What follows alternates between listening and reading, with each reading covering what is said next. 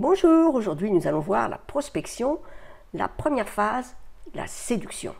Lorsque tu vas à ton premier rendez-vous amoureux ou à un entretien professionnel, à quoi penses-tu en premier? Eh bien, tu veux faire bonne impression. Alors tu soignes ton look, tu essaies d'accrocher un sourire à ton visage pour avoir l'air serein, sûr de toi. En soignant ton apparence, même si ton stress est immense, tu sais que si tu plais à ton interlocuteur, la moitié du boulot sera fait. Pour la prospection, c'est la même chose.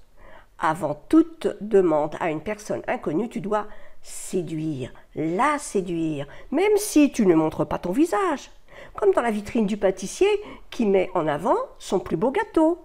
Cela peut être par les mots, mais chacun sait qu'une image vaut mille mots, si elle est bien choisie. Ton but premier est d'engager la conversation avec une personne sur les réseaux sociaux. Le but ultime est de réussir à lui proposer ton produit. Avant cette dernière étape, tu dois séduire. Pour cela, soigne tes pages de capture, de vente, tes textes, tes images, tes bannières, etc. Pense à faire des tests.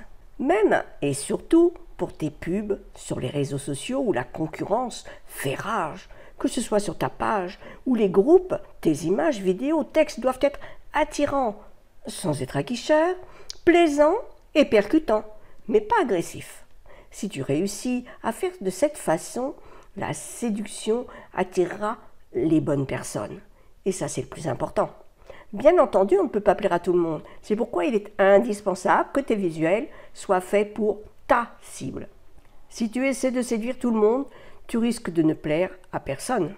Maintenant, je t'invite à télécharger l'ebook gratuit Guide ultime de la prospection à 360 degrés.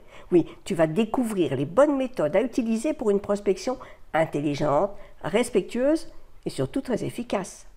Nous venons d'entrevoir la séduction, qui est juste la première phase. Il en reste encore deux.